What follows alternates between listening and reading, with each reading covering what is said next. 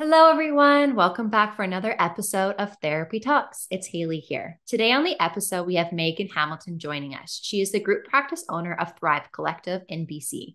She talks about her success transitioning from working in uh, independent practice to becoming a group practice owner. And the focus of our conversations around the business behind her group practice, how to be successful in a group practice, and where she wants to take her future endeavors, including hosting a podcast.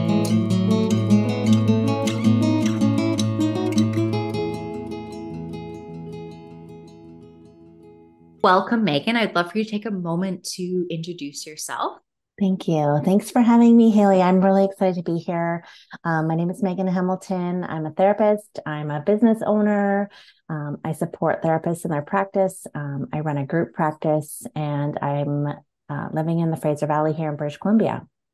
Wonderful. So I'd love to hear about your group practice and your business endeavors. Thank you. Um, so I started in private practice in 2014, and I did that um, independently for a few years um, through a wellness center.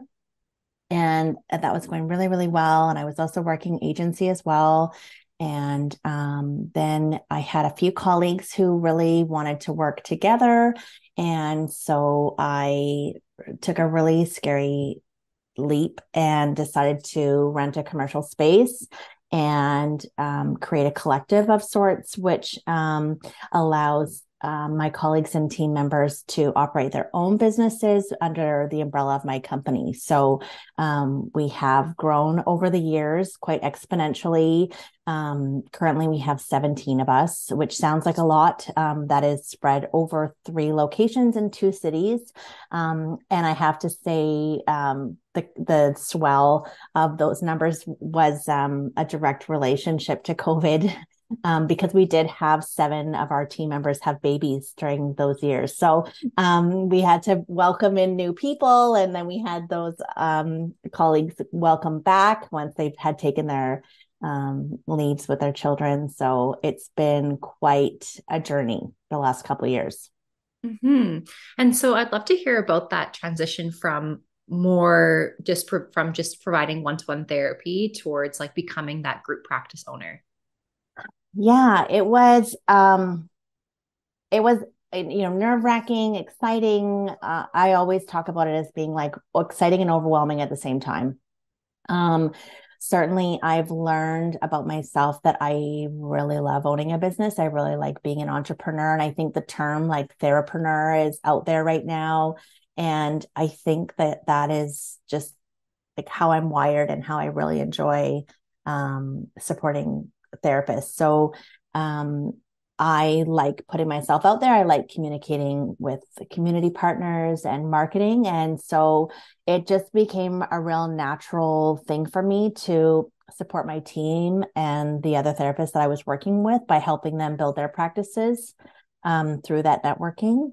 And um, like I said, we just kept growing and um, referrals kept coming, and the need for services has just grown over the years. And um, it's been a remarkable journey. Sometimes I I look back and I wonder kind of how this all came to be. Like it, it's um, it, it seems like it's quite a fast growth, um, but it also feels really great. And I can't imagine my team um, with less people and and we're quite diverse in what we bring to the table. So I also think we're a really rounded group as well. So it's it's been phenomenal. It's been um, pretty amazing. Mm-hmm. And it's just, it is amazing to have 17 different clinicians all working together. Would you say there's a theme to what you offer, or is there quite a lot of variability? You know, overall, I think there's quite a variability. Um, I, I do take a lot of pride in that. If you know, if we can't help support you in whatever you're coming to our door with, that will help connect you with somebody else in the community. So, um, I I don't pretend to believe that we can cater and serve everyone who comes through our doors or calls us or sends us an email. Um, but I do make it, you know, my my personal mission and philosophy to connect community members and clients who we can't serve to someone else in the community. So I've tried to create this um, you know, multidisciplinary wellness center in a sense that has counseling as the heart of our services. And then we have a few add on services, which includes acupuncture and massage. And we have a registered dietitian who works with us as well. So I did try to take the idea of um, most wellness centers have kind of a counselor or two as an add on service. And I kind of wanted to flip flip the script a little bit there and have us be a counseling office with other services that complement counseling. Um, so um, I do I do encourage obviously diversity and and people who bring different skill sets to the table, um, and I think we've done a pretty good job of that. And and where we fall short, um, that's okay. It's about finding other um, therapists in the community that we can connect those clients to as well, for sure. Mm-hmm. And I like what you're saying as having counseling as being at the heart of the services because I do agree with you. Like so often, many multidisciplinary health practices focus on the body in some way, whether it be diet, acupuncture, massage, chiropractor, uh, physiotherapy, and then there's that kind of I don't know if I'm saying the right tone, but it's almost like, would you like to try counseling? It's kind of like that little extra yeah, the um, add-on service. Yeah, the add-on service, and it's kind of like that extra sort of thing, not really like the the main point or the main um, health pro- service pro- like offered. And so I really like how you made it from counseling first and then spread into those other areas. And I can see why that would be so helpful is because you're having ideally a person centered experience that's really listening to you with non judgment and helping you to make good informed decisions about your health overall. That's right. That's right. And we worked really collaboratively. Like we get a lot of referrals through our nutrition services, and then they're referred for counseling, or we have counts, um, counseling clients who then need, you know, with a re- recent diagnosis or a, a, chronic condition. And so we might connect them for acupuncture. So um, there is a lot of, um, you know, connection and cross referral within our group. And then we also work really well with community partners and other therapists and services in the community as well. Um, so I, I, like to think that, you know, if you come through our doors, that will help get you connected where you need to be connected. That's going to be the best service for you, which sometimes isn't us. And hopefully it is, but, you know, um, that people can leave not just going back to Google and not just feeling like, they put all that time and energy making that one phone call and they've kind of reached another dead end and i kind of like I'd like to think of us as being a little bit different. Mm-hmm. And I totally agree with you because there is a lot of work and energy that a new client to health services may come in and really are being brave to access support and then feel as though they can't find the right fit. And then they're kind of lost. And now they're back on their own trying to get that support. Yeah. Especially navigating insurance, right? You know, people will call and they're like, well, I have coverage for counseling. And it's like, well, what does that mean? can, can you send me a photo or can you tell me verbally what what it says that you're covered for counseling and what that looks like and so helping people even navigate deciphering the language of insurance policies is something that I spend time weekly with people. Again, even if it's not us that can provide the service, but directing them in the right way and, and having them understand what does their coverage even mean.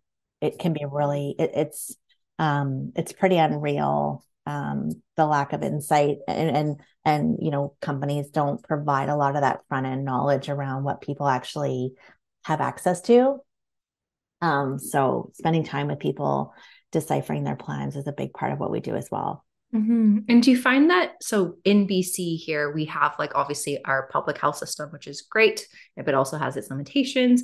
Do you find that this type of setup having a one-stop shop perhaps or a center like this really can help to fill in that void of having disjointed services I would like to think so, but I, I think that's only been possible with some of our intern students that work with us as well. So although um, each of us that work, you know, under the umbrella of Thrive Collective, we have sliding scale or several of us will do different um, pro bono or, you know, reduced rate sessions. We can't have half of our caseload be you know um, reduced rate and that's that's really challenging because i mean people have limited funds and capacity to pay full rate a lot of the time so we do supplement and so um, having interns that have lower rates or sliding scale rates and, and have you know ability to see clients for um, no fee is i think part of how we can help to bridge that gap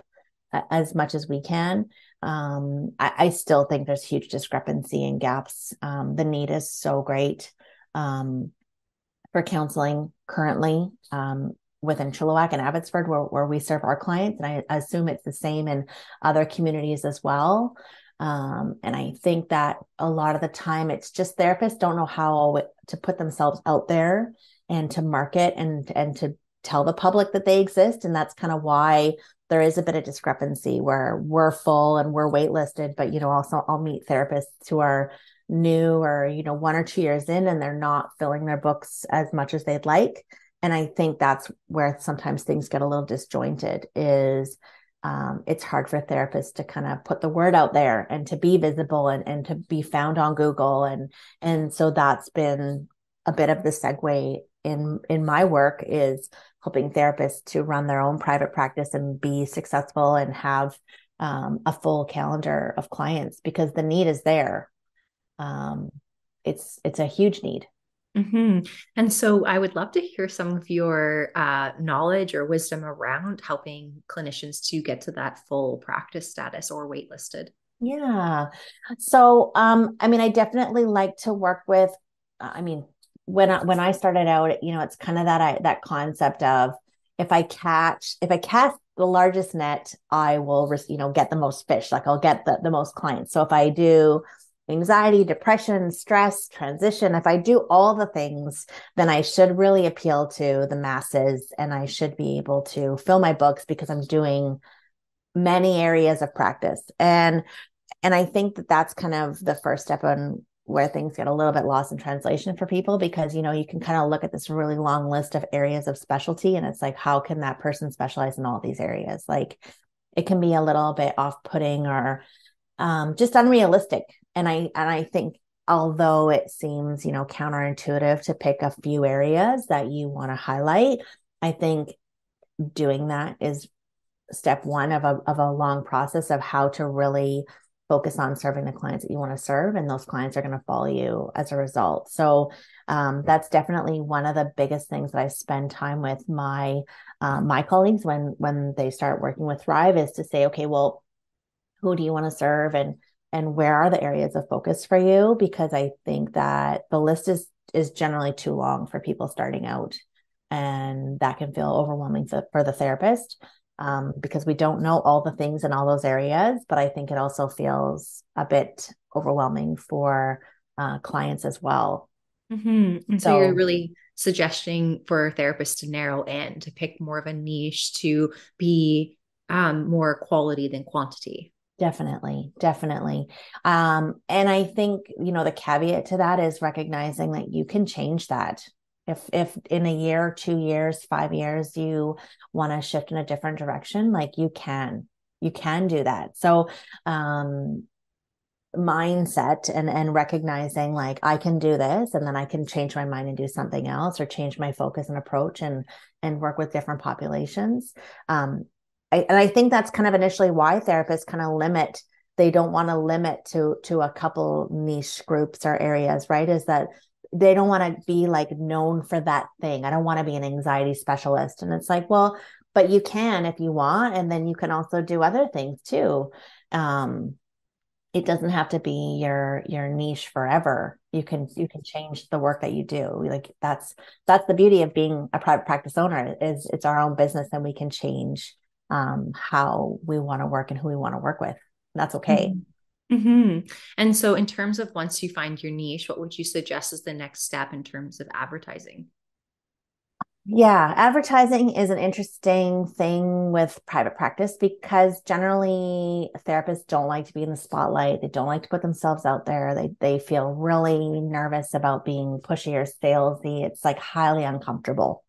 Um, so, um, you know, once we've kind of chosen a couple areas and I've helped therapists to kind of narrow down kind of where they might want to focus, at least starting out, um, you know, is to really choose one method of advertising. So, what happens is I meet I meet new therapists or therapists new to private practice and they're overwhelmed with Facebook. They are confused about Instagram They've spent some time on LinkedIn. They're not listed on Google.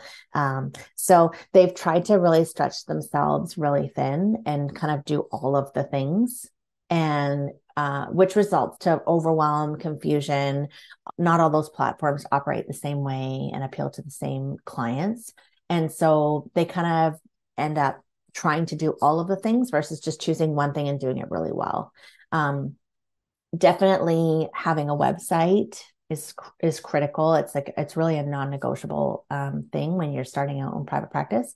Um, but the second piece to that um, is um, really getting your listing on Google. So I spend a lot of time educating and helping therapists to really um, allow Google to recognize that their business exists and I, I, can't tell you how many times I've I've met with therapists and they are really overwhelmed and they they don't know why they're not showing up in Google when someone searches their name or their business and and it's actually because they haven't told Google that they've started their business.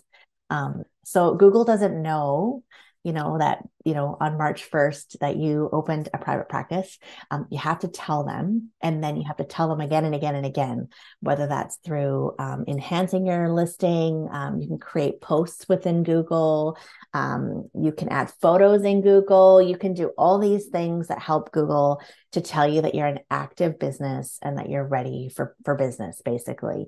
And that's something that needs to be added on regularly. Google likes that and so, um, definitely um, doing some community networking is one really big piece that I spend time with. And then Google, those are kind of the main two areas that I um, support therapists and really getting the word out there that they're in business. And, you know, as time goes on, and if they want to spend some time on some of the social media platforms, it's definitely an option if that's what they want to do. Um, but many um, private practices can be very successful without even entering the social media market at all. Mm-hmm. And that's like the, that's the truth. Yeah, for sure. Because, like, when you think about a client searching for counseling, they may, if they feel open and vulnerable and comfortable, they may ask a friend or a family member who they have worked with or that they can recommend anyone. But most of the time, it is going into Google and looking it up. Right. And so I definitely agree with you. And I think a good thing to clarify is that you can make um, it so that your business shows up on Google and it doesn't actually cost any money if you're not doing any um, SEO advertising and things like that. Correct me if I'm wrong. And so, yeah. And so it doesn't cost anything just to have it so that when you type in your business, it comes up on that right hand side in that little box, right? Yes. Yeah. So I think just choosing one or two things and doing them really well is always going to serve you better than trying to do all of the things. And I think you know with modern therapy and and counselors and you know mental health influencers being on the social media platforms i think it's applied a lot of pressure um, to therapists that that think like oh this is the new way and the expectation then for me to get clients and and um, you know like let yourself off the hook for some of that stuff. Um, word of mouth and google are going to be your top referral sources um, and so it's really nurturing community partnerships and connections. Um, sometimes that can be through social media. I know for myself with our group practice, I um, liaise and network a lot on our social media platforms with other businesses and other community initiatives. So that's kind of a way that I network through social media, um, which, you know, is a style of marketing, but it's not, I'm not directly trying to market to clients. Uh, I'm just trying to, you know, um, what's the way to put it? Um, present our business and uh, create awareness in our community that we exist. And why is that successful? Is because so few therapists do that. Um, very few therapists want to be in the spotlight. Well, and exactly what you're saying is like that navigation or that connecting and networking with other businesses. So, what kind of things do you do to make those sort of networking connections? Well, I mean, definitely in the early days, it was just telling people that we exist. Hey, we're we're a wellness group in town. We focus on counseling. Just want to let you know that, that we've opened or that we've started or we're coming or whatever that case might be. So, a simple note or um, sending a voice message or or reaching out through social media and telling those businesses that we exist was critical. Again, people cannot know that you existed unless you tell them right so and, and again lots of people don't go onto social media to search for a counselor Um, I think for our business, people might go on to see if we do have a online presence on social media, but it wasn't because they were looking for us on Instagram. They just happened to find us on Google or hear about us. And then the social media kind of legitimizes um, that we are, in fact, a business and exist. Um, um, we've partnered um, for fundraising initiatives. Um, what else have we done in the community? We definitely have hosted groups and workshops at other businesses and locations, done trainings. Um, sometimes we'll do like a food drive for a local organization. So we'll just be really promoting and supporting different small nonprofits. Um, we do those around different times of the year for different reasons. So it's just about also being like a community advocate and a mental health advocate in your community. And and I think that's some a big part of what social media has allowed us to do is just be that um, agency or in that group that you know if, if somebody needs something we would love to help whatever that might be volunteering or promoting or donating um, and so that's something that we've spent time doing for sure. That's been really important for us as a group.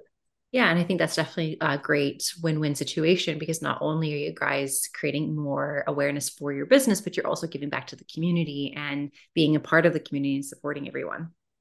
Totally. And I and I and I've t- I've given feedback to many therapists, you know, like attending networking functions, um, different um, chamber of commerce meetings, like just thinking about being a mental health advocate wherever you go like is so important just for us as a society but you're also like indirectly marketing hey i'm a therapist in your community and i'm here and i and i i have a seat at the table too. And like that's so powerful and and so many therapists just are uncomfortable or don't think like a therapist doesn't really belong in some of those um, circles or meetings and it's like no you do we we do as as mental health advocates and as um, you know mental health providers need to be attending all of those things right mm-hmm. just we're business owners like anyone else and so i think it's just so important and valuable and um, great connections always come from all the events that we attend. It's so mm-hmm. important. For sure. And in terms of the social media aspect, do you find that it has become a little bit challenging to navigate some of the ethics around marketing and social media? I mean, I definitely think there's some challenges there um, from time to time, we'll definitely get messages of people who are interested in our services. So, you know, having some of those uh, notifications that we don't provide therapy through social media and always redirecting back to our office contact information is really important. Um, I mean, it's it's challenging because people are spending so much time on social media, right? So it, it's not uncommon for people to want to engage with us on social media. And so it's just more of like educating and informing hey, thanks for reaching out. Here's the best way to reach us because this isn't a platform that's secure and, and confidential. And so we can't um, navigate that with you on Instagram, for example, or Facebook. Um, definitely having the automatic um, responses set up is something that's been really helpful for us, especially on Facebook. Um, and um, I, because how I also decide to navigate um, social media as well as I haven't outsourced that task to somebody like an outside agency or a person. So, um, as the clinic owner, I actually manage all of our social media. And so that's been um, like my commitment to ensuring that things are being managed, um, you know, properly, ethically, um, that client information is not out there somewhere with a company or a person somewhere in the world. Um, and that's just kind of been my solution to navigating that a little bit is not only being in control of the voice of our of our company uh, my company and and representing my group of of therapists who work with me but also to protect client um, information and confidentiality. So um, it's probably the one the one aspect of business that I've really uh, wrestled with because um, I'd, I'd love to outsource at least some of it, but I haven't um, mm-hmm. as a result. I think that's a really good thing to keep in mind because you have that ethical awareness as a counselor. And so you're yeah. able to have better control versus not to disrespect anyone working in social media advertising, but you just have a little bit more clarity and respect possibly for that client. Um, and the reason I brought this up too is because I was, I can't remember where I read this article, but it spoke about this idea of clients hearing their stories on social media. And so it wasn't any identify information, like there wasn't a gender or an age or anything really about the person specific or where they lived, but their experiences being shared and being used as examples for different concepts or ideas yeah. and things. And so I think we're kind of in this interesting space where we have to be very conscientious of how we're using social media and like do we necessarily have to give those real life examples to make our information credible or engaging or can we just so- solely stand from a psychoeducational standpoint and give information right or yeah yeah i think i think you're making a good point and i think like we generally give very general broad information um, and i use our platforms primarily to talk about the team. So I'm not always talking about, um, oh, we had a client or this is kind of the theme of the week or whatever we're seeing in our therapy sessions, but it's also a way um, to kind of give that consultation information that a client might want from a therapist through some of our platforms. And uh, definitely some of our team members have been more comfortable with others uh, to be on social media. Actually, most of my team doesn't even have social media personally or professionally. So um, it's always a challenge to kind of get them in front of the camera and to, to be, you know, sharing something about themselves. But I've really tried to capture photos and videos of them just being normal everyday people hiking, going for coffee, visiting um, local businesses, and you know, uh, you know, I'll do some fun promos with my team. Um, we did a giveaway not that long ago, and I said, "Hey, send me your picture, and for every picture you send me of you in real life."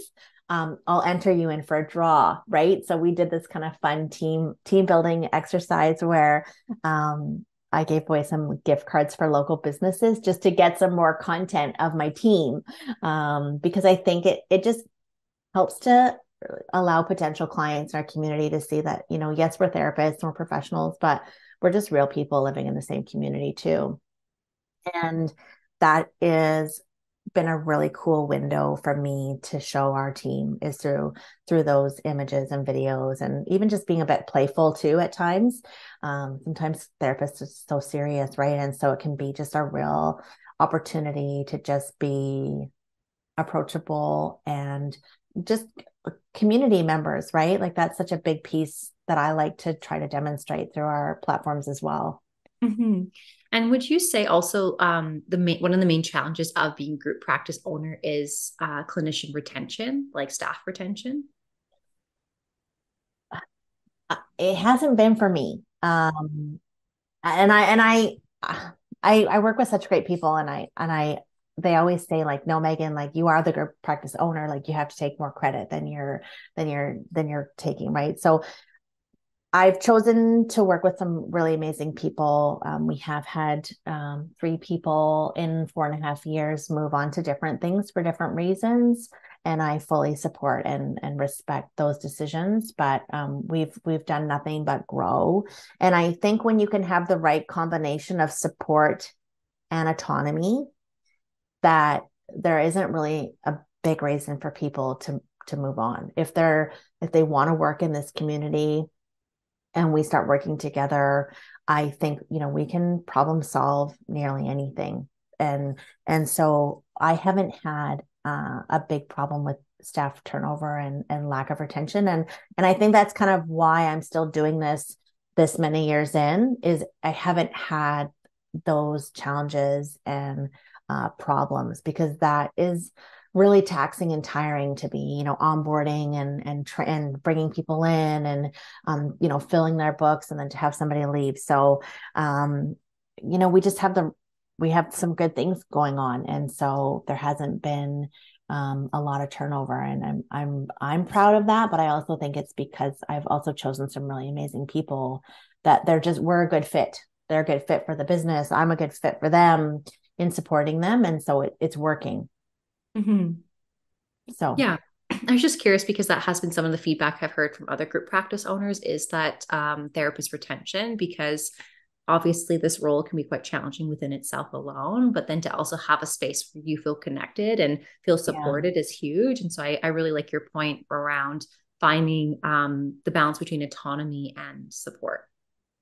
Yeah, I I think I take a bit of a different approach than many group practice owners in that I don't consider my colleagues to be my associates. They're not working for me. They're working for themselves and I'm there to support them. I'm there to help market their services. I'm there to help them with the business pieces.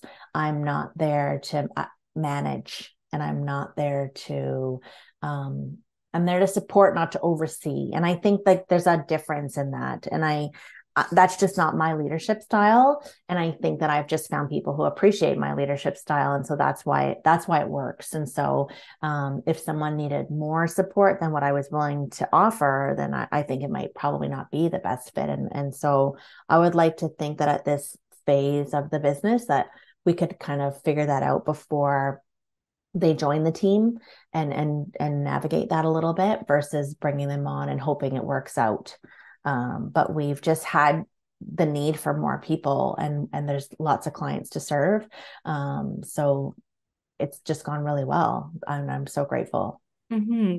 and it sounds like it's gone so well that you are taking on a new endeavor. Um, and that's one of the main reasons we got connected is that you're also interested in starting your own podcast.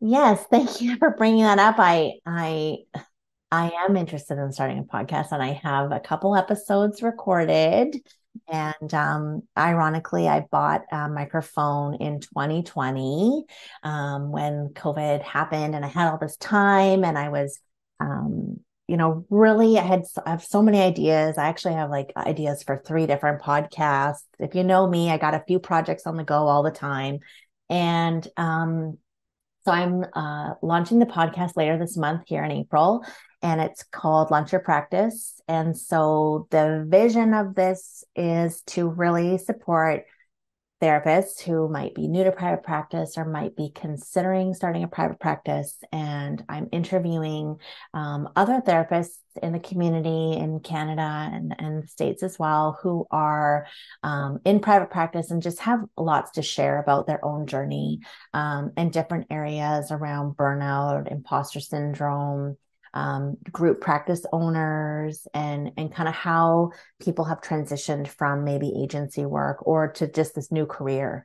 Um, there's definitely been um, a wave of people who have joined um, a master's in counseling program as like a second career. And so there just is so much that needs to be shared. And um, part of this work as well is the the to address some of the major gaps in our graduate programs of lack of information and um, courses and programming that doesn't tell us all the things that we need to know about starting a private practice and becoming a business owner right? So you know you kind of become uh, content creator and a business owner and a digital you know you're doing all these things. And um, we're not prepared for that in school right? We're taught so many amazing things clinically and about the relationship and how to how to work with clients and all these things. But you know if we want to go into private practice um, we're really kind of going to Google and the internet and trying to piecemeal some things together based on where we live geographically. There's different rules and regulations, and and we're kind of winging it. And I know I, I know I did when I graduated and I started privately on my own. And so I just wanted to have this podcast, and I and I also offer some services one to one for therapists who are starting out and um, I'm also offering a course. Um, this will be available online, but um, the first actually um, session will be in person. So I'm doing an all day uh, course on Saturday, May 13th. Um, in the Fraser Valley for new therapist as well. So I figured, you know, it's the beta version. It's going to be a really great opportunity. I have a lot of um, experience facilitating in person workshops and groups um, this is really familiar information to me so let's just let's just roll with it and then i can receive some really great feedback that i can implement for the online course so i'm really excited about it i'm super mm-hmm. excited about it Mm-hmm. That sounds so wonderful. And I definitely can relate to all of the things you're saying regarding wearing multiple hats and trying to grow a business. And even for myself, where I'm at in my career, like I'm constantly always thinking the next step or how to improve or consistently be full in my practice too, because that is a challenge of mine. And so I think it's really great that you're creating that space because um, I think it's very relatable for every therapist once they graduate from their master's program. It's like, oh, okay, now what am I going to do here? And how do I become AKA successful or uh, fulfilled in my career? That's right. Yeah. There's a lot to navigate. Um, you know, and we're usually working another job and we're trying to start our private practice part time or we're trying to ease in and, you know, just navigating some of the responsibilities around setting boundaries with private clients and website development. And uh, there's just so many pieces to it. So, um, I, for me, I just found like a real lack of having a concise guide that was really relevant to Canadian therapists where we can go and all the information is there and it's laid out step by step that we can know what to do, know where to invest our time and resources and money. And that's going to help us the most versus a lot of hours of wasted time, you know, putting time and effort into things that maybe don't matter as much, but at the time we just don't know it. And that's really hard, right? Mm-hmm. Definitely. I would definitely want to sign up for that type of uh, program, I think for sure, because I think it takes a lot of the guesswork out of like what to do next. And even just navigating the legality or the, like the technical business things is like quite confusing um, in BC here in this province. And I'm sure really anywhere there's certainly not always the a right or wrong way but i can what i what i've always you know tried to present is like i'm willing to tell you everything that i've done and where i've spent time that was really valuable and here's why it paid off and here's where i totally fell short or wasted time energy and effort and and here's what i've learned and make your own decisions. Like I think that, that there's such a, a resource there. And I look forward to the participants of the group, whether it be online or in person, having, um, we're going to have a private networking group and have some follow up calls as well. So it's going to be part of the services that I offer um, because it can feel so lonely um, in private practice, right? Like we're working with people all day, but you know, if we're working virtually or in a really small practice, or even if we're sharing an office with another therapist, you know, we're kind of working opposite them. Um, we're not usually working together at the same time. So I just think it's important to have a community. And that's part of also what I really want to build as part of these services too, is an opportunity to connect and talk about some of those hard moments as a business owner or learning curves as well. So I look forward to have that facilitating that as well in in the services that I'm bringing to the table. Mm-hmm. I think that's really great and sounds really helpful because then it allows therapists to get back to what they really want to be doing, which is providing that therapy. Yeah, yeah, mm-hmm. exactly. Mm-hmm. Well, Meagan, have we missed any topics that we wanted to touch on? I think we've done such a good um, roundabout so far. I don't think so. I, I don't think there's anything that's been um, missed uh, based on what we wanted to talk about today. I guess if I could leave on on one note or or word of recommendation, it's just to start right. If you've been thinking about private practice or you know you've been kind of not sure, um, you know if you're waiting for the sign, this is it. Um, I know for me, I was ready to go right out of the gate from grad school, but it took me a while to decide to leave my um, agency job because I was really unsure, um, you know, leaving um, a really great job when I had really wanted and um, walking away from a reliable income and benefits and pension and all those things. Like I know that for many therapists that, you know, those are what we work so hard for is the security in it. And especially after graduate school, we want to, you know, pay down some of the debt from school and those kinds of things. But um, if you're if you're considering it like that's speaking to you right? So there's ways there's ways to start a private practice. And um, i just want to encourage people to just be curious about that. Mm-hmm. i think so too. It's just like listening to your intuition and like what your true desires and motivations are. Yes do it. Do yeah. well i really appreciate you joining us today. It'd be great if you could just share uh, where people could find you Yes, thank you. So um, I do have an Instagram page for my group practice. It's Thrive Well BC, and um, um, thrivewellbc.com is the website for the group practice. And then um, for the individual consultation that I provide to therapists, um, the Instagram name is Launch Your Practice. And people can find me at meaganhamilton.com um, just to learn more about my story and read about the uh, offerings that I have. And there's some really great freebies on the website as well. And um, I'll be launching my podcast later this month, and people will be able to check it out um, there as well. So I'm so appreciative to be um, interviewed by you today, Hailey. So thank you for having me. Thank you. Yeah, we really appreciate you joining us and sharing. And I think a lot of therapists who listen to this podcast will find a lot of that information very helpful, which in turn, again, gives the opportunity to be back with the clients. Exactly. Thank you so much. Thank you.